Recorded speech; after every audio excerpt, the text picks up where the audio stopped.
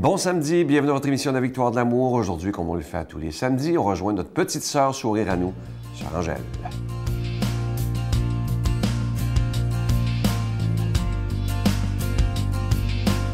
Eh bien, bon, voilà.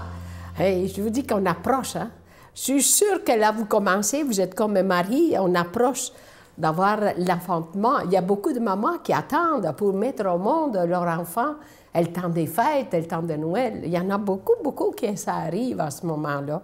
Alors, je voulais parler d'espérance. On espère toujours avoir l'enfant qu'on désire. Alors, c'est comme Marie, elle ne savait pas trop quel enfant qu'elle allait avoir, mais évidemment, c'était l'homme. L'homme, c'était Jésus, Jésus-Christ. Mais elle était prête, elle se demandait comment ça allait se passer. Et j'en suis sûre et certaine que l'espoir était très fort pour elle, et comme le ciel des nuits. Il n'est pas le coin du sombre plus sombre que l'œil.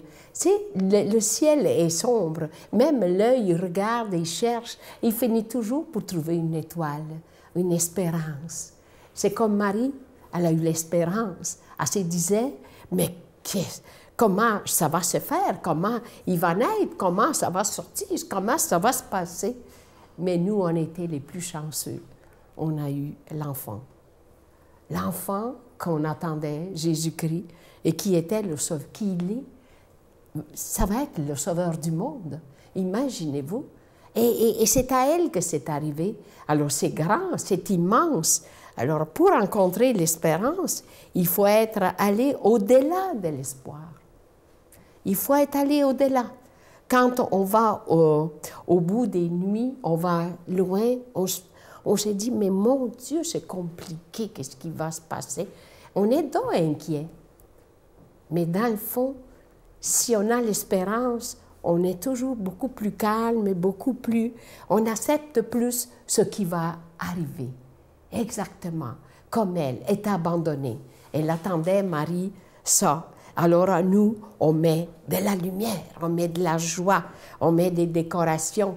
On veut que ce soit vraiment la fête. Et, c'est pour ça. Mais il ne faut pas oublier qu'il faut toujours une petite lumière. Et à place de Jésus, on a mis une petite lumière pour que, c'est dit, il s'en vient. C'est un grand mot, il s'en vient. Et c'est grâce à ça aujourd'hui qu'on prend encore des engagements. Et on se demande à des enfants, ils disent, c'est qui lui? On ne sait plus qui est Jésus. Mais qui savez-vous qui leur montre qu'il est le petit Jésus? Les grands-mamans, les grands-papas. Il leur dit, ah, c'est lui. Alors voilà, c'est comme ça que aujourd'hui, je voulais vous parler la venue de celui qu'on va aimer. Notre Père qui es aux cieux, que ton nom soit sanctifié, que ton règne vienne, que ta volonté soit faite sur la terre comme au ciel. Donne-nous aujourd'hui notre pain de ce jour. Pardonne-nous nos offenses comme nous pardonnons à ceux qui nous ont offensés. Ne nous laisse pas entrer en tentation, mais délivre-nous du mal, car c'est à toi qu'appartient le règne, la puissance et la gloire pour les siècles des siècles. Amen.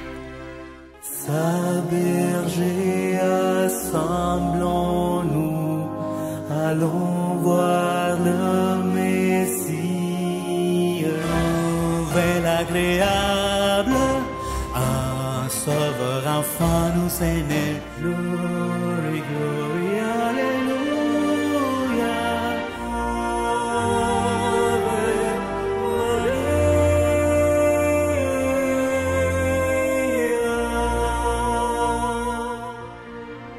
Je suis tellement heureux de vous parler de ce beau cadeau du mois. Je dis depuis quelques semaines que c'est probablement, d'après moi et d'après l'équipe aussi, un des plus beaux depuis les 22 dernières années. Il est d'une très, très grande qualité. C'est fabriqué euh, au Québec et par des artisans absolument magnifiques. Et c'est le, le, pendentif de la Vierge et de l'enfant. C'est plaqué nickel argenté et ça ne ternira pas parce que c'est en nickel. Et évidemment, ce pendentif, il est déjà béni. Ça se donne extrêmement bien en cadeau. Alors, je vous rappelle que c'est avec un don de 25 et si vous en voulez deux, c'est avec un don de 40 et vous le recevrez très rapidement.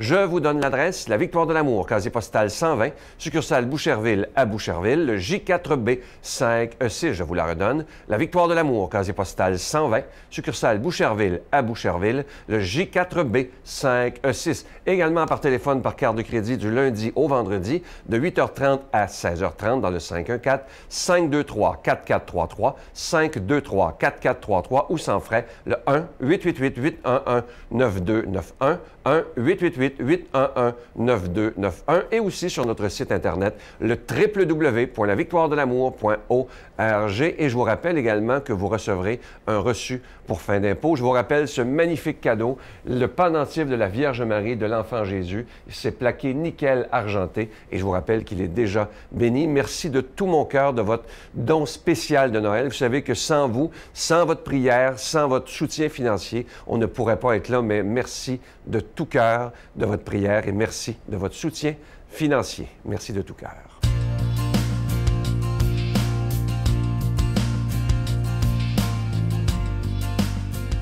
Mon Dieu, donnez-moi la sérénité d'accepter les choses que je ne peux changer, le courage de changer les choses que je peux et la sagesse d'en connaître la différence. Amen. Aujourd'hui, la parole de Dieu est proclamée par quelqu'un qu'on apprécie beaucoup. Il est là depuis les tout débuts de la victoire de l'amour, l'abbé Donald Thompson.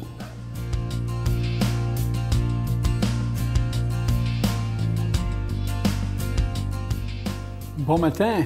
On est la première, semaine de l'Avent. Et en ce samedi de la première semaine, c'est l'Évangile selon Saint Matthieu, chapitre 9, qui se continue sur chapitre 10. En ce temps-là, Jésus parcourait toutes les villes et tous les villages, enseignant dans leurs synagogues, proclamant l'évangile du royaume et guérissant toute maladie, toute infirmité. Voyant les foules, Jésus fut saisi de compassion envers elles, parce qu'elles étaient désemparées et abattues comme des brebis sans berger. Il dit alors à ses disciples, La moisson est abondante, mais les ouvriers sont peu nombreux. Priez donc le maître de la moisson d'envoyer des ouvriers pour sa moisson. Alors Jésus appela ses douze disciples et leur donna le pouvoir d'expulser les esprits impurs et de guérir toute maladie, toute infirmité. Ces douze, Jésus les envoya en mission avec les instructions suivantes. Allez vers les brebis perdues de la maison d'Israël. Sur votre route, proclamez que le royaume des cieux est tout proche. Guérissez les malades, ressuscitez les morts, purifiez les lépreux, expulsez les démons. Vous avez reçu gratuitement, donnez gratuitement. Alors donc, ce matin, en ce samedi, on a un évangile aussi qui nous, voyant les foules, Jésus fut saisi de compassion. Ce que Jésus voyait autour de lui à son époque, nous le voyons autour de nous maintenant, hein, aujourd'hui. Des foules fatiguées, des foules abattues, des gens fatigués, des gens abattus. Vous savez, quand on regarde l'Église actuelle, en Église, on regarde ensemble sur la situation réelle de nos communautés, nous laisse souvent euh, songeurs hein, et mal à l'aise quand on regarde la situation actuelle. Où est la reprise spirituelle tant souhaitée? Hein? Où se cachent les forces vives hein, qui pourraient faire tellement de différence au niveau d'un témoignage de foi dans la cité aujourd'hui? Pourquoi des petites querelles intérieures interminables qui viennent miner les, les meilleurs projets de pastoral d'ensemble? Moi, j'appelle ça les TLM, toujours les mêmes, toujours les mêmes qui sont là. Toujours les mêmes en ont ras-le-bol, les TLM en ont ras-le-bol. Comment assurer une continuité? Comment rejoindre ces foules fatiguées et abattues? Pour quelqu'un qui veut, qui, euh, qui veut rejoindre les foules fatiguées et abattues, puis l'ensemble de l'humanité, hein, en faisant porter sa bonne nouvelle de salut jusqu'aux confins du monde, Jésus ne semble pas savoir euh, s'organiser. Parmi les disciples qui l'entourent, il choisit les apôtres. Bon, dans son choix, il tient compte ni de leur passé, ni de leur capacité professionnelle, ou encore moins de leur expérience. Il choisit quelques pécheurs sans instruction. Il n'exige aucun curriculum vitae. Il ne demande pas de référence. Leur réputation, leur statut social ont peu de poids. un collecteur d'impôts choisi, méprisé par les siens, un zélote aux idées révolutionnaires, etc., etc. C'est que le Christ, hein, comme son Père, a peu à faire avec les apparences et les conventions sociales. Il semble même s'en moquer. Ce qui compte pour lui, c'est, ce n'est pas ce qu'on voit, mais ce qu'on ne voit pas. À l'exemple de son Père, Jésus a une prédilection hein, pour les faibles, les inconnus, les tout petits. Il vient les chercher là où ils sont, hein, tout simplement, comme si c'était tout à fait normal. Il n'en choisit que douze. Remarquez bien, c'est peu en regard de la mission qu'il leur confie. Vous savez, les spécialistes et les consultants diraient qu'il part euh, perdant. Hein, en choisir douze seulement. Il n'arrivera jamais à réaliser quoi que ce soit avec si peu de cadres. Et pourtant, toujours à l'exemple de son Père, Jésus est peu impressionné par les nombres. Il se souvient de l'histoire de son peuple, hein, dans le temps des conflits et de guerres. C'est toujours le petit, monde, le petit membre qui l'emporte sur l'armée à grand déploiement dans les temps d'influence étrangère et de pression, à se confronter au monde ambiant, hein, c'est toujours le petit reste qui demeure fidèle. Dieu ne compte pas la manière des êtres humains. Pour Jésus, douze, c'est comme mille. Et cette bande disparate, ils forment un collège en vue de la mission.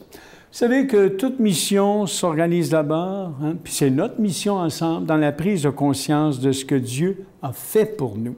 Et pour les apôtres, comme pour nous aujourd'hui, c'est dans cette profonde réalisation hein, que le Christ est mort pour les coupables que nous étions, que nous trouvons les assises de la mission d'être des disciples de la mission apostolique. Et cette prise de conscience devrait, j'oserais dire, devient vive dans la rencontre de la prière où il nous est donné hein, de nous euh, rendre compte que nous serons sauvés par la vie du Christ ressuscité. Alors si Jésus invite les siens à prier le maître de la moisson, c'est afin que qu'ils prennent conscience de l'initiative de ce Dieu amour, hein, hein, à qui appelle gratuitement et confie des responsabilités à peine réalisables. Et à ce moment-là, ben, toute mission s'ouvre hein, sur l'avenir. Elle tire une part d'énergie, de la certitude que Dieu euh, continue à choisir son peuple et à faire de celui-ci son domaine particulier. Alors, nous ne sommes pas nombreux Hein? Nous ne sommes pas nombreux. Comme chrétiens, comme chrétiennes, dans la société d'aujourd'hui, nous sommes de moins en moins nombreux. Et peut-être pas toujours très habiles, mais souvenons-nous d'une chose. En Dieu, avec Jésus et par l'Esprit, par son souffle, nous savons que douze sont comme mille, que douze sont comme mille. Souvenons-nous de ça toujours. Hein? Et à ce moment-là, on garde le cap, on garde l'énergie qu'il faut. Que le Dieu de la vie vous bénisse, qu'il vous comble de son souffle de vie, qu'il vous aide toujours à témoigner dans la société d'aujourd'hui, le Père, le Fils et le Saint-Esprit. Amen. Bonne journée. Je vous salue Marie, pleine de grâce. Le Seigneur est avec vous. Vous êtes bénie entre toutes les femmes, et Jésus, le fruit de vos entrailles, est béni. Sainte Marie, Mère de Dieu, priez pour nous pauvres pécheurs, maintenant et à l'heure de notre mort. Amen.